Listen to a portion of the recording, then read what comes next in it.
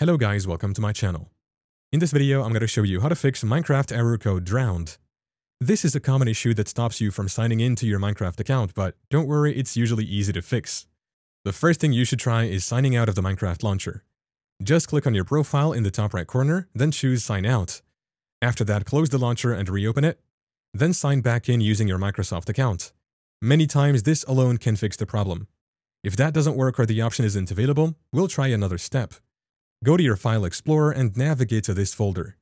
C into Users, into your username, into App Data, into Local, into Packages, into Microsoft.Xbox Identity Provider, underscore followed by a series of letters and numbers, into AC into Token Broker.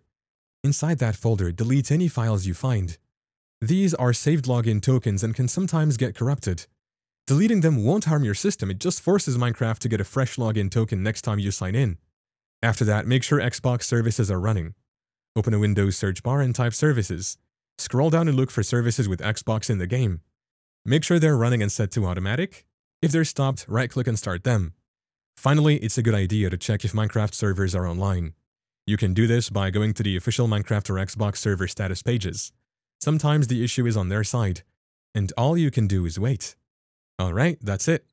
Hopefully one of these steps helps you fix the drowned error and get back to playing. Thank you for watching. If this video was helpful, please leave a like and subscribe to my channel for more videos like this.